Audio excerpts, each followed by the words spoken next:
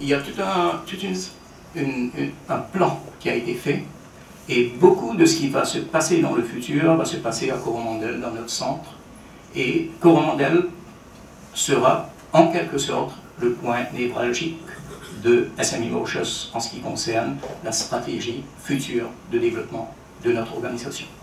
Cette année-ci, dans les 12 prochains mois qu'on va faire ensemble, la route qu'on va faire ensemble, il y aura à Coromandel une augmentation de notre capacité en, en 3D printing, parce qu'on a la ferme intention d'aider d'autres secteurs à, euh, à développer des produits innovants à travers le 3D. On a aussi l'intention de développer à Coromandel un incubation unit qui va avoir au moins 5 ou 6 euh, composantes de différents secteurs. Il y aura à Coromandel l'observatoire des PME, afin qu'on ait euh, des, détails bien plus précis sur le cheminement des PME à Maurice, de leur contribution, de, leur, de leurs problèmes, des problèmes qu'ils ont, des solutions qu'on a. Il y aura le centre d'exposition et de marketing. On est en train d'investir afin qu'on crée à Coromandel un espace bien grand qui va permettre à nos PME d'exposer leurs produits et sera un espace expo-vente. Non seulement la vente en direct et la vente par réaction, mais beaucoup plus, bien plus proactif que ça. On est en train donc de rentrer dans une logique de développement de compétences pour l'exportation des produits des PME. Et on entend bien, d'ici six mois, pouvoir venir dire qu'on a développé une stratégie d'exportation des PME propre à SME Motions. Donc, ce centre d'exposition et de marketing à Coromandel accueillera les PME, les produits, ils auront de l'espace. On aura les prix, il y aura des catalogues, il y aura des ventes en ligne, il y aura des ventes en direct, il y aura des visites qui seront organisées par ceux qui sont normalement acheteurs et consommateurs de ces produits.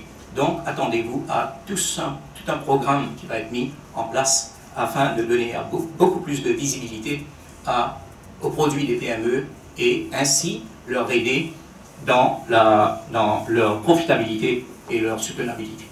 Ça a été quelque chose de très très positif pour nous. Cette année-ci a été très euh, fructueuse en termes de support qu'on a pu apporter aux PME et c'est quelque chose qui se reflète dans les chiffres. Les plus gros projets, comme je vous ai dit, ça va se passer à Coromandel, qui devient le point très important pour nous.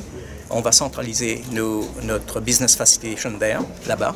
Il y aura la formation, il y aura les, incubateurs, il y aura le SME Observatory et il y aura euh, toute une série de, de petits incubateurs qu'on va faire pour euh, les différents secteurs euh, de, des PME. Notre nouveau portail et avec des, des enhanced features okay, qu'il n'y avait pas lors de la phase qu'on avait faite en, fin d'année de 2008.